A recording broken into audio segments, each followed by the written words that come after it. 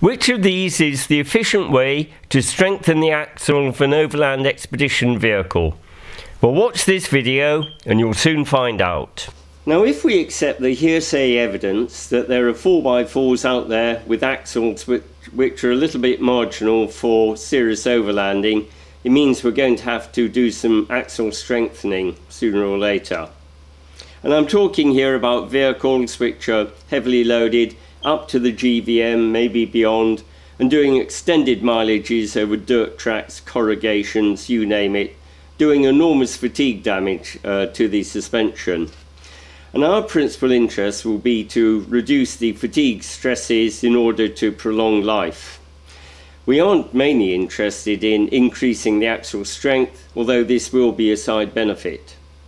Now I had a look on the internet, see what's available, and I found there was a whole world out there which I knew very little about, with many different strengthening kits being marketed, mainly in the US, but I didn't find a single kit which came close to uh, the overlanders' requirements.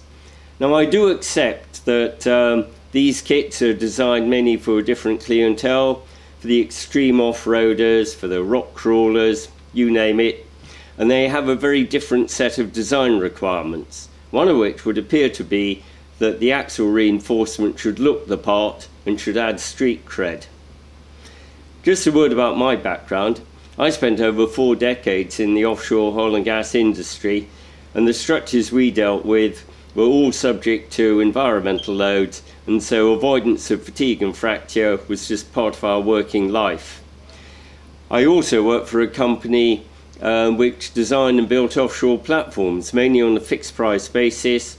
And for us, the most profitable weld was the one you didn't have to make. And this does rather colour your thinking. So let's look at the design requirements. Now way back when I did the part 4 video in this series, I showed a typical bending moment diagram for a live axle and this represents the uh, principal load which has to be resisted by the axle.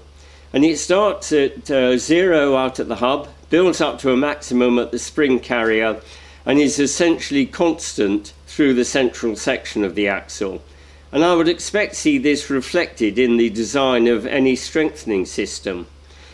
But sadly, this isn't the case. And the typical strengthening kit is tapered, and you'll find it has maximum depth in the centre at the diff housing.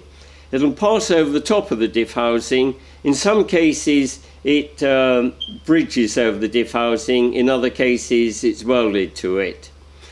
Now, the diff housing is, is enormously strong, made of cast steel. It's a very deep section and I simply don't see the need for the axle strengthening uh, to pass over the top of it. For me, a much more logical design is to have a constant depth section uh, which is governed by the bending moment at the spring carrier, carrying through as far as the diff housing and welded to it. And the welding isn't difficult providing the correct procedure is followed. I show a couple of examples of stiffened axles. The first one I freely admit I don't understand the thinking which has gone into the design of this. And the second one here, it seems to me to be much more logical and a much more efficient design. Now let's look at the optimum section to use for reinforcing axles. Now looking on the internet, I see that all the proprietary systems, they use channel sections or U sections which are bent up from steel plate.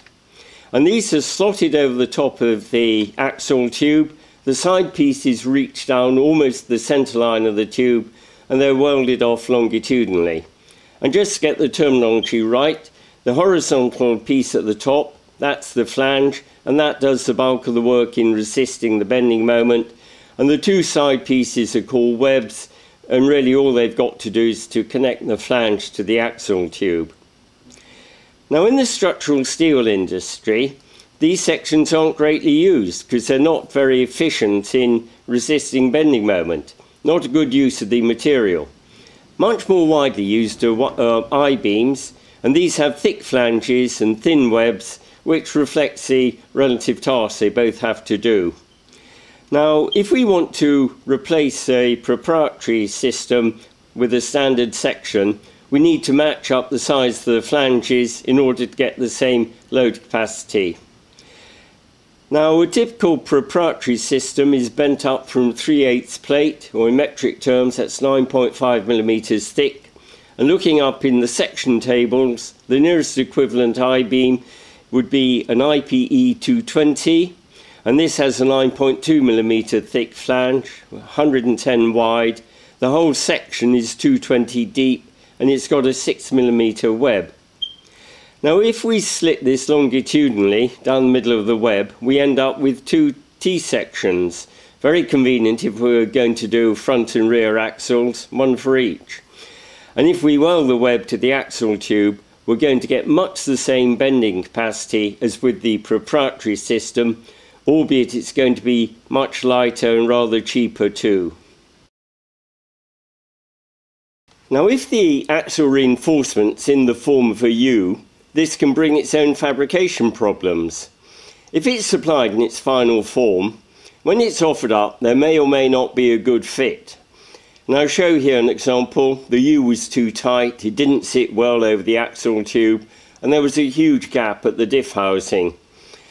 So the section had to be taken away, put in a hydraulic press, opened up, and on a trial and error basis adjusted until a good fit out was obtained. Now, this is both time consuming and also not every, everyone's going to have a hydraulic press, are they?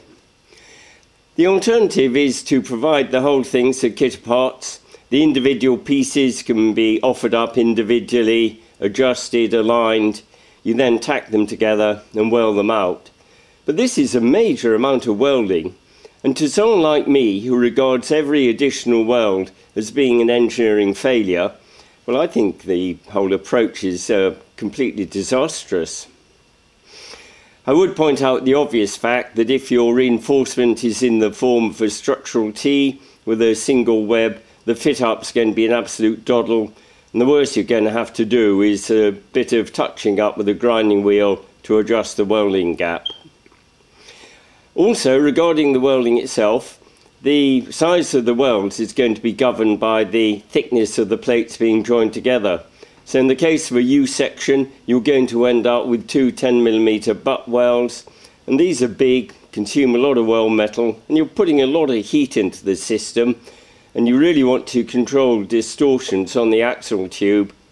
On the other hand, the structural T, uh, the web can be joined just with two 5 millimeter fillet welds. And this is a very neat and a very economical welding solution. The final decision to take is where to weld on the reinforcing. Before we go any further, let's just remind ourselves of our objective. And this is to improve the fatigue life of the axle, and this requires us to minimize the fluctuating tensile stresses in the axle casing. Now let's just look at the uh, situation uh, starting with an unreinforced axle. And if you apply bending moment to it, you get equal and opposite compressive and tensile stresses in the top and bottom of the axle respectively. And I show the maximum tensile stress with the red arrow. Now the conventional place to put the reinforcing is on top of the axle and if we do this we pull the neutral axis upwards and although the uh, overall stresses are reduced, the maximum tensile stress still occurs in the bottom of the axle casing and it could still be at a damaging level. A much more efficient place to put the reinforcing to reduce the stresses is underneath the axle and if you do this you pull the neutral axis downwards and the maximum tensile stress in the axle casing as indicated by the red arrow is very much reduced. The overall maximum tensile stress now occurs in the reinforcing, but this shouldn't be a problem. You're not going to have welded attachments there, and it's not going to be fatigue sensitive. Now doing it this way, we do reduce the ground clearance under the um, axle tubes, although the overall ground clearance is still governed by the diff housing. Now I realise that to many off-roaders this could be a problem now, I suspect that the requirements of most um, off-roaders and overlanders differs a little in this area. For an off-roader on a technical section, he needs to be able to avoid his, uh, obstacles, picking his way over rocks and tree stumps and so forth, and for this you need to have good ground clearance everywhere. But it's a bit different when overlanding. And for me, the most commonly encountered situation where ground clearance is even an issue is if I'm driving along a deeply rutted track, the ruts get too deep, the diff housing bottoms out and I get bogged down and this is going to be unaffected by the axle reinforcement. And I suspect that for most overlanders, it wouldn't matter having reinforcement under the axle, providing it's still higher than the bottom of the diff housing. Now, out of interest's sake, I did a little mock-up on the computer to see what it would look like. So we have a heavy-duty rear axle here. I put in T-stiffeners underneath, and it doesn't look very much, does it? But I assure you it's fit for purpose, it'll make a hell of a difference to the life of the axle and it makes an efficient use of the material. Now this last item is an addendum to the main theme of this video and it's in response to a question from a viewer on my channel who asked what I thought about the use of inner sleeves as a means of strengthening axles. Now they do have some advantages and they're probably simple, simpler to install uh, because they go down the inside of the axle it avoids clashes with all of the external attachments and bracketry and so forth but even so they're not that simple to install you've got the design which is an interference fit and getting them in is going to be a hell of a struggle or you've got the other design where, where they're a snug fit you slide them inside the axles but you have to attach them by means of plug welds. Neither neither of these methods is that simple. But my biggest concern from the engineering side is that the additional material it isn't being used very efficiently simply because it's too close to the neutral bending axis of the axle. Now to illustrate this point, I prepared this little graphic and I'm plotting the stresses in the axle casing against the thickness of the inner sleeve. I've expressed these stresses as a ratio, and this is the ratio in the axle casing after reinforcing compared to the casing before reinforcing. And this is shown by the blue line, which slopes down towards the right. It starts off at unity at the left, as it must, which merely says that if the reinforcing sleeve has zero thickness, then there's no stress reduction. But you'll notice that the curve flattens off. And what this means that is that when the sleeve gets thicker, uh, adding more material has progressively less effect. Now to put some numbers to this, I've taken an axle tube of nominal size um, 100 millimeters OD by 8 millimeters thick, or in imperial units, this is 4 inches by 5 sixteenths, and I've taken a reinforcing sleeve which is a quarter inch thick or six millimeters which seems to be typical. Now um, with these numbers we find that the stress ratio is 0.65 which means that the stresses have come down by 35%. Now this will give significant improvement in the fatigue life of the um, axle tube uh, but it's not going to save you if you're doing extreme off-roading and rock crawling. I've also plotted the weight ratio, which happens to be 0.65 also, and this means that the reinforcing sleeve weighs 65% uh, um, of the weight of the axle tubes. Now I do have one reservation about using inner sleeves to reinforce axles. They're very unlikely to be used with axles where the casings are made from full-length castings because you need to have a tight, if not interference fit, between the inner sleeve and the axle casing, they're much more likely to be used with axles which are built up from seamless tubes which are welded to the diff housing. And it's these welds which can fail. And certainly after adding the reinforcing, the welds are going to be the weak link. So I would wish to reinforce them. And this can either be done by increasing the size of the weld, which means laying down more weld metal on top, following the correct weld procedure, or by installing local reinforcing, which will be in the form of uh, gusset plates between the axle tubes and the diff housing. And if you do this, you're going to have an axle which is stronger all round.